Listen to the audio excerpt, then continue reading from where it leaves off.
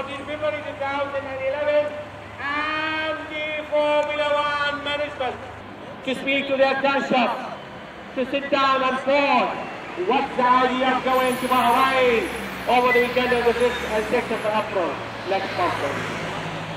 What's the idea of racing in Bahrain with the conditions?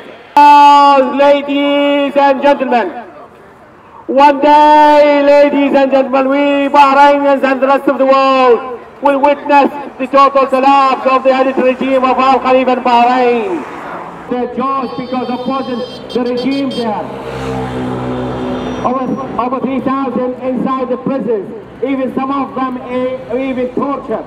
Not tortured only, being raped, thrown upon with internationally banned chemical materials and live bullets for opposing the regime there. Despite all the international laws enshrined with the United Nations charters. Don't do what you've done last year and the year before. It's not business as usual in Bahrain.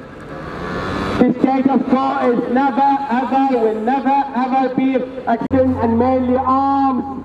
They could deal and wield. Because in the words of one British member of parliament, he says if we apply ethics in every relationship we have with every country in the world,